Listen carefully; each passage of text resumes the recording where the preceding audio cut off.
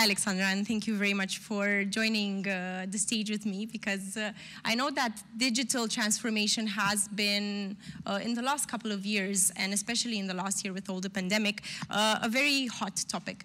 Uh, and I know that Telekom has done fantastic job um, during, uh, you know, the last year. So I would like to talk with you a bit about how digital transformation is looking like in Telekom. Hey, thanks first for being here, for invitation. And uh, it's a bit unusual being live. this is something that we missed during yeah. this pandemic. But on the other side, what transformation brought us is actually possibility to stay connected, to be present, uh, to do our job, to serve our customers into the same level and extent, which was something that have happened prior to pandemic. So it is quite important, and uh, those times actually showed up that it's even more important to be able to be present regardless to the conditions which are in the external world. Perfect. So, and how did the uh, you know tools or what kind of new changes have you uh, introduced in Telekom in the last year in order to be a bit more connected to your customers?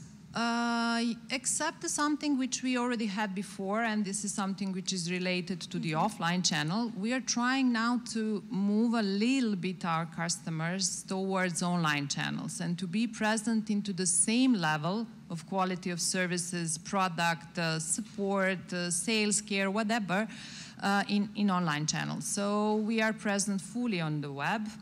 Uh, we introduced uh, some uh, robots, and actually, this is also something which Druid helped us to do. Uh, we have introduced chatbots in a couple of various places. So the idea is that we are there for our customers 24 by 7, regardless to the facts where they are. If they have possibility to go to the shop or to call the call center, yes, but what for the ones who are not able to do so? And especially now during the pandemic times when people couldn't leave their houses or they were just not feeling comfortable to do so, they were able to get all the assistance needed. So it was just an alternative, another channel, so to say. Exactly. It in communicating with uh, with the customers. We, what we wanted is to provide them the same quality of service regardless to the channel. Uh, this is the transformation. Yeah. Let's be honest and frankly, we cannot replace human yes. yet. And but, we're not uh, trying to. And we are not trying to. This is also something that everybody needs to understand. I think our customers are aware of that. But there are some things that, first of all, customers can do by themselves. So uh, on our side is just to educate them how they can do it. So it's not necessary that everything is done by some call center representative, mm-hmm. there is a lot that they can do it by themselves. And this is why we are helping them on digital channels. Sometimes it's an app, sometimes it's just a web, sometimes it's a chatbot. And there are some things which we do in behind, so the process itself it's much faster, much seamless, and the customers can have their problems and solved faster and be a little bit more satisfied and also a bit more happy since they learned something new and they are engaged. Yeah. So you saw um, much more clear need for self-service in the, the last, uh, let's say, period of time, and you saw it transformed in a way through interacting with the chatbot. Actually, we do. Uh, even though we have planned to do so outside of this pandemic, I think none of us was so predictable. But uh, one of the things what we put on Telekom agenda is to do the digital transformation. Okay. So to be able, as I said, to be present everywhere at any time, and uh, tools which can help us there are mainly digital tools. Mm-hmm. So we have decided to deploy chatbot. Uh, one of the reasons to do so is to, um, let's say, tackle all those care related problems okay. which customers are having. So the problems that are usually mainly you know, are the problems, the one that mm-hmm. many companies are decided to uh, implement the chatbot, but to be able to, let's say, uh, to be able to fulfill the, the need for that, to uh, um, onboard our stakeholders and uh, budget owners, mm-hmm. we decided actually to implement the chatbot in a totally different domain is sales. And the segment where we wanted to deploy is B2B, which was kind of an interesting, a bit risky we wanted to prove that uh, having a chatbot in B2B segment can help increase sales in B2B segment. And uh, we have launched some small bot which we made by ourselves. Uh, we did that with one of the open platforms which exist here. And we managed to increase the inbound sales lead by 20%. Okay, And which that was uh, green light yes, for exactly. the stakeholders to go further. Okay, so that's how you know uh, you ended up working with us. Yeah. So tell us a Uh, bit about Tim because uh, a few I think reasons he's working uh, with you, uh, um, not being said anything bad about uh, any other vendors with who we worked before. But uh, the vendor with who we worked before didn't have Romanian language as an option, but also didn't have the, let's say, the logic that is behind each and every chatbot. Uh, uh, I guess majority of the audience knows, but in case that it doesn't, chatbot learns, and uh, So it's not just frequently No, asked no, questions. No, no, no, no, no, no. Actually, chatbot learns, and we needed a vendor who have experience in Romanian market with Romanian customers to actually help us build the chatbot much more successfully. Uh, being said that, uh, you had quite a good reference. Uh, now I'm speaking as a client, but also I'm speaking as a user since I was using and I'm still using chatbot of Regina Maria, which helps me a lot. I'm a foreigner and I'm hopeless with the call center. So for me, this is the only channel of communication. And you have been tackling banks. So one of the few main sectors in business industry in Romania and uh, in terms of the market share subscriber base, which you are covering, is quite huge. So this is the main decision why we decided to, to do this partnership with Druid, uh, which on the end actually fulfilled fully our needs also in terms of working. We have been able to, uh, since the kickoff of our uh, meeting to launch chatbot, I think we did it with three weeks. which, which is quite fast. Quite fast, which is amazingly fast. So you are also one of the vendors who are able to work in agile mode. So not to throw out the full-scale fledged product on the market, you are throwing out the version zero, then we are learning based on our customers, and then we are constantly upgrading each and every two weeks. We are releasing new new uh, features, new conversational flows, and we are onboarding more and more customers. The, the, you said something really interesting about learning because I think it's a double uh, way because not only the chatbot is learning, but actually us as users are Oh, learning a lot. lot. We're learning how to actually use an, a chatbot, how to, let's say, you know, just get our problem really quickly solved. Um, and I think this is something that you can actually see the actual return on investment when you're talking about digital transformation through a chatbot. Exactly. One of the things in the beginning, and I must say, we have had around 4,000 users per day. 50% of them just chat. they just wanted to chat. You know, people want to be heard. This is one of Yeah. the things. And then How funny are the stories yeah, yeah, yeah. they just want to be heard. Some of them, like, were gossiping others and so on and so forth. This is uh, funny sometimes to read, but what is going on now? Uh, we have almost the same number of customers, but we are executing on their problems. So we are solving their problems. We have them engaged longer, and we actually train them in a way. They, they learn that by themselves. It's not that we train them. They learn them by themselves. The chatbot can actually use them to do something. Why is what is the main reason why they are there? And uh, uh, the time which they are spending now, it's more or less the same, but the efficiency which we are getting, it's like doubled or tripled for the last uh, period of eight months, let's say. So, and you're seeing this efficiency and the, you know, let's say, decreased number of users that are actually ended up in the call center and talking yes, with the call exactly. center agents. One of the options which we always need to leave, and let's be honest, it's everywhere. People like talking on the we phone. need to have an option that customer can talk Yeah, to exactly. representative. And- Especially when you're mad, because I think that's when you're actually. Uh, well, maybe in that case I would leave them chatbot only, but uh, nevertheless, uh, the thing is we have that option, and that option was used much, much more in the beginning. Now we are seeing like almost 80% of the conversation is ending up on the chatbot. It doesn't go further to the call center representative. So yes, this has been decreased, and this is one of the reasons for digital transformation, is just to try to have an, that omni-channel approach when you're going to move your customer from one channel to another, trying to keep them on the digital channel as long as possible, and try to keep them to do, let's call it self-care and self-provision by mm-hmm. themselves. And we are just learning them how to do so. And yes, uh, efficiency is there.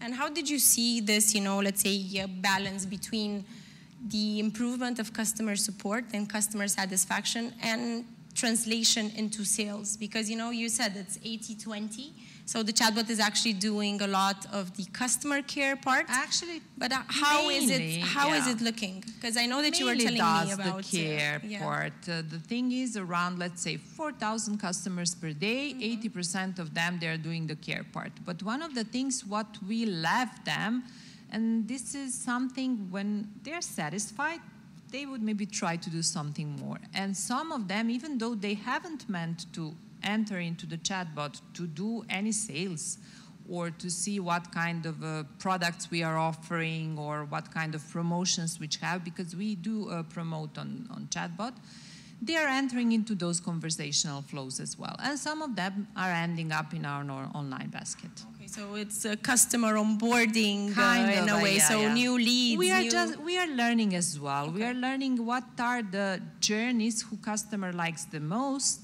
and uh, in majority of the cases, top care journey is how to pay invoice electronically and online. And top uh, sales journey is uh, abonamente nueva, if I said properly. So, so we are learning them to actually use it properly to help themselves and to fulfill their needs. How did the marketing campaign went when you actually launched them? I mean, because I know it's usually, you know, uh, uh, it's a bit of a change management that you're doing and we're doing with our customers when they're deploying a chatbot internally for their employees, because it's a bit of a shift, you know, it's taking you out a bit of the routine of actually picking up the phone and calling that colleague how it was uh, for uh, you know for the we customers we didn't do it at the first place okay. because we didn't want that our customers perceive chatbot as another marketing channel mm -hmm. sometimes we see that customers are a little bit tired because we as a business in general telco business a little bit aggressive on the market mm -hmm. and uh, a little bit uh, sometimes pushy so uh, we think that we were able to onboard them priorly uh, with care. So knowing that there is something that we would do for them, solve some of their problems, and then as a back end is a marketing related, um, mainly education related mm -hmm. type of marketing, how to use some kind of a digital channels, how mm -hmm. to execute digital sales, how to pay online digital bill and things like that, and then going into the regular either B2C or B2B products and services and market them, but kind of a back-ended, let's say, yeah, not that aggressive. Not that aggressive. So you were mentioning earlier that you're a customer of Regina Maria, so you're talking with the chatbot there. Uh, you're a customer of a bank, you're talking with the chatbot there. So how did this interaction and daily interaction that you're having with uh, virtual assistants actually uh, helped Tim get even, you know, better in what he's doing? It does, because in the beginning we were not uh, fully aware how many things can be solved with a chatbot. Chat. this is like endless, really endless channel. Uh, just uh, to have an idea, we in the beginning we just left our customers chatting, and we were like, giving them idea what would you like the chatbot help you with, and for example, this is how we figured out that I don't know, 50% of the customer have no idea how to pay online bill. So we ran the campaigns to, to, do this, this type of education.